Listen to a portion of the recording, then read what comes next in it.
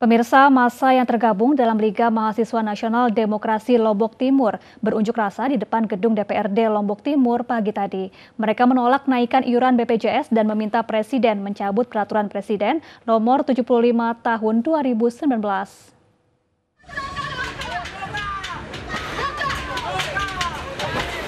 Unjuk rasa mahasiswa menolak kenaikan iuran BPJS Kesehatan diwarnai ketegangan saat masa memaksa masuk dengan mendobrak gerbang kantor DPRD Lombok Timur. Masa kesal karena tak ada anggota DPRD yang menemui mereka dengan alasan sedang rapat paripurna. Unjuk rasa kembali kondusif setelah Kapolsek Selong, Ibtu Idewa Wijaya Astawa menemui masa dan meminta masa tertib dalam berunjuk rasa. Silakan, rekan-rekan sudah saya bilang, mau.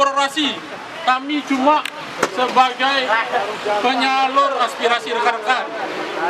Dengan anggota dewan kami sudah sampaikan keinginan dari rekan-rekan.